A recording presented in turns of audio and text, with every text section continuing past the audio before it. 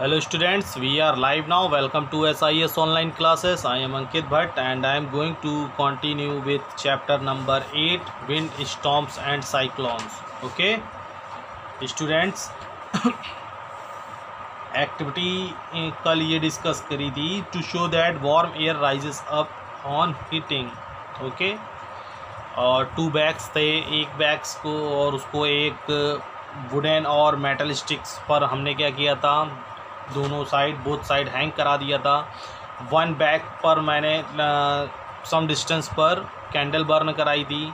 सो so, result क्या दिखा था कि जो बर्निंग एयर कैंडल्स के नीचे जो बैग था वो अपवर्ड साइड मूव कर जाता है और जो नॉर्मल टेम्परेचर में बैग टंगा होता है वो डाउनवर्ड साइड मूव कर जाता है। ओके सो प्रूव हो जाता है कि जो वार्म एयर होती है वो अपराइज मूव करती है okay so our next topic is wind currents and generated due to uneven heating on the earth. जो विंड करेंट्स होते हैं are generated due to un uneven heating ठीक है? जो विंड करेंट्स होते हैं वो जनरेट करते हैं un uneven heating of on earth पर okay so un uneven heating between the equator and poles un uneven heating between the equator and the poles, okay? In summer, the land near the equator warms up faster. Equators आपको पता होगा जो equators lines mid of the earth पास की जाती है, ठीक है? Between okay so जो इक्वेटर्स के नियर जितने भी लैंड्स एरियाज़ होंगे, वो बहुत समर्स में क्या होते हैं? बहुत हॉट होते हैं, ठीक है? In summer the land near the equator कहीं आपको इसमें डाइग्राम नहीं दिख रहा होगा इक्वेटर का। नहीं तो दिखाते। इक्वेटर जो होता है मैं बता देता हूँ एक शॉर्ट में। हम्म, एक मिनट रुकिएगा।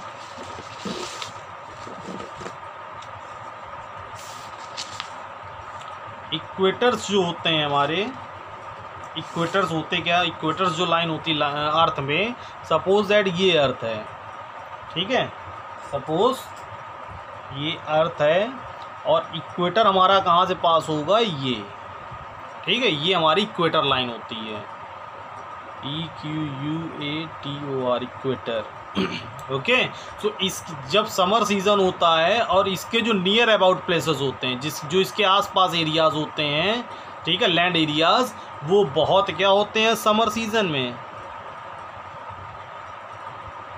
समर सीजन्स में बहुत हॉट होते हैं। Okay? In summer, the land near the equator warms up faster. Okay? In summer, the land near the equator warms up faster. बहुत जल्दी वॉर्म हो जाते हैं। As it receives maximum heat from the sun. क्योंकि इस time पर ये सन की डायरेक्ट सबसे ज़्यादा रेस को कवर कर रहे होते हैं। ठीक है? ये सबसे ज़्यादा रेस को की रेंज में होते हैं। सन की डायरेक्ट रेस की रेंज में होते हैं। ठीक है? D I R E C T direct range rays of sun okay S U N direct range rays of sun ये जो एरिया होते हैं डायरेक्ट सन की रेंज एरियाज़ में होते हैं, ठीक है? The warm air from this heat area rise okay जो वॉर्म एयर होती है फ्रॉम दिस हीटेड एरिया इस हीटेड एरियाज़ की राइजेस ठीक है? ऊपर चली जाती है and cool air from the region in the 0 to 30 degree altitude on the other side of the equator moves in. Okay so warm air from this heated area area rises and cool air from the region in the 0 to 30 degree altitude on the other side of the equator moves in. Okay the wind blows from the north and south towards the equator जो इस समय wind का जो blows होता है, वो north to north and south towards the equator. Blow from north to south, ठीक है? इस टाइप से देखिए, नॉर्थ टू साउथ, नॉर्थ ऊपर पोल होगा और साउथ ऊपर तो इस टाइप से ब्लोज होने का जो होता है, इस टाइम पे तरीका होता है, ठीक है?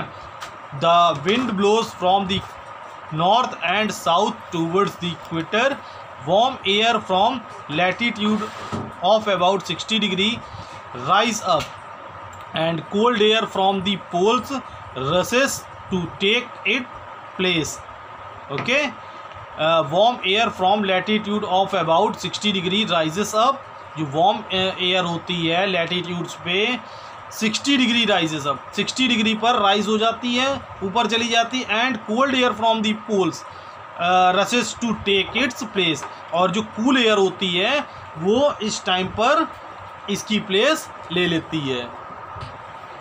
देखिए, इस पूरी लाइन का मतलब क्या होता है, मैं बताता हूँ कि जैसे ये देखिए सी एरियाज़ हैं। ये आपका सी एरिया पेन क्यों चेंज हो जाता है? ये आपका जो है सी एरिया है। ठीक है? और ये आपका जो है, वो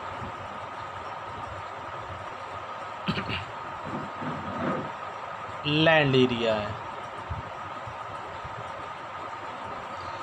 जब ये सन की डायरेक्ट रेस जो होगी, जब इस पर पड़ेगी तो ये जो एयर है इसकी, ये अपवर्ड साइड मूव कर जाएगी। ठीक है? Air R I S E S rises up okay rise up होके ये एयर क्या होगी? सी एरियाज़ पे कवर करेगी। भाई ऊपर थोड़ी नहीं निकल जाएगी यूनिवर्स पे। ठीक है? एयर तो क्या होगी? One place to one other place क्या करेगी? मूव करेगी। सो so, राइज होने के बाद ही सी एरियाज़ पे जाएगी। ठीक है? सो so, जब सी एरियाज़ पे जाएगी तो सी एरिया सी एरिया की जो एयर है उस पर सपोज़ दैट ये इसका एटमॉस्फेरिक एयर है, ठीक है? इस पर ये प्रेशर एग्जर्ट करेगी तो ये वाली जो एयर है, ये मूव कर जाएगी। इसकी जो कूल एयर है आपकी, ये तो हो गई हॉट एयर ये कूल एयर जो है वो लैंड की साइड मूव करेगी ओके सो आई थिंक इतनी बात सभी को समझ में आ गई होगी, इस लाइन का मतलब। फिर से मैं रीड कर देता हूँ। The warm air from this heated area rises and cool air from the regions in the zero to thirty degree latitude on the other side of the equator moves in ठीक है? जो warm air जो warm air होगी, वो rises हो जाएगी ऊपर side पे और जो कूल एयर होगी रीजन्स की, इसी एरिया पे zero to thirty degree latitude पर on the other side of the equator other side of equators पे मूव इन वो इसके साइड मूव करेगी। The wind blows from the north and south towards the equators ठीक है? जो wind का ब्लोनेशन होता है, वो इक्वेटर्स में नॉर्थ टू साउथ वर्ड्स होता है इस टाइम पे। Warm air from latitude warm air from latitude of about sixty degree rises up जो वॉर्म एयर होती है लैटिट्यूड पर, वो सिक्सटी डिग्री राइजेस करती है।